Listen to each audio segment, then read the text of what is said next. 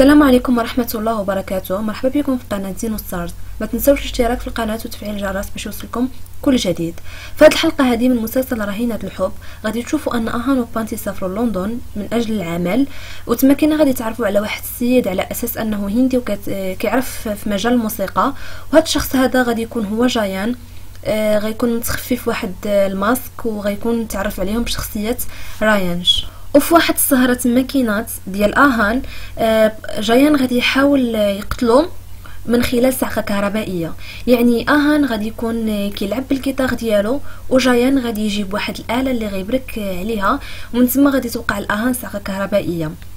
من بعد غادي يمشي بدل حوايجو وغادي يجي على أساس آه، أنه باغي يعاونهم.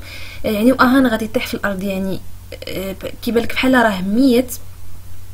من بعد من غادي يجي جايان آه، غادي يبغيو يديوه للمستشفى ولكن جايان ما غاديش يبغي غيقول لها نديوه غير الفندق. ملي غيمشي للفندق بانتي غتعيط لواحد الطبيبة وغادي تجي لعندهم. آه، يعني وأهان غادي تولي الحالة الصحية ديالو مزيانة. وجايان غادي يتعصب حتى كان باغي يموت. وهذه هي الحلقة اليوم وكنتمنى تنال الإعجاب ديالكم. وما تنساوش like والتعليق وفرجة ممتعة.